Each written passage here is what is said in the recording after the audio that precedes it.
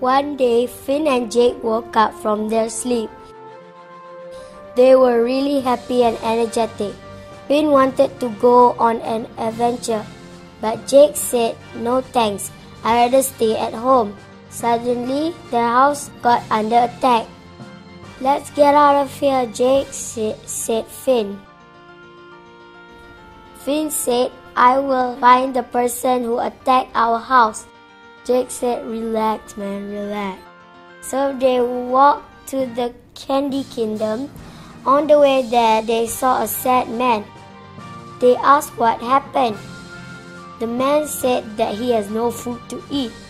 So Finn and Jake gave the man some food. The man thanked them for the food. Suddenly, the man turned into a monster. Finn and Jake were surprised that the guy fooled them.